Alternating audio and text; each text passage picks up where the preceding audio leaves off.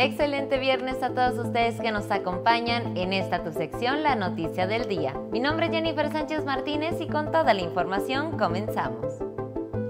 Y empezando en Acuña, en la sesión extraordinaria de Cabildo se declaró la necesidad inmediata y emergente para que Grupo Trevisa ofrezca el servicio de transporte público en Acuña, tras la suspensión injustificada de Acobús Santa Fe.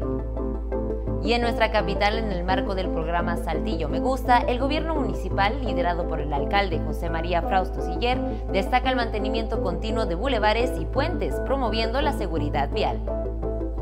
Y en la región Laguna, debido a las lluvias, Protección Civil y bomberos de Torreón intensificarán recorridos de vigilancia en la ciudad.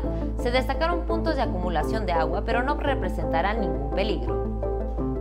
Y en Monclova, la Brigada de Acción en tu colonia, impulsada por el alcalde Mario Dávila Delgado, ofrece servicios y despensas a bajo costo para apoyar a la comunidad en tiempos difíciles económicos.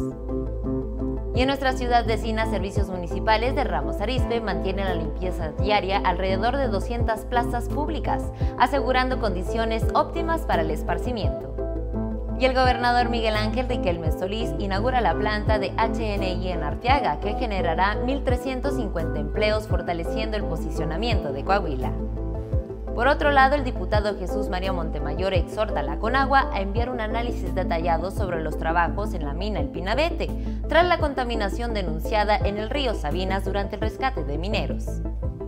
Y no menos importante, el magistrado presidente Miguel Meri dirigió la cuarta sesión del Consejo Académico del Instituto de Especialización Judicial. Durante la reunión se abordó la integración de comisiones de evaluación de exámenes de mérito para cargos clave del Poder Judicial del Estado y fue un gusto que nos acompañaras con toda la información de la noticia del día. Recuerda seguirnos en todas nuestras redes sociales como atiempo.tv para mantenerte siempre bien informado e informado.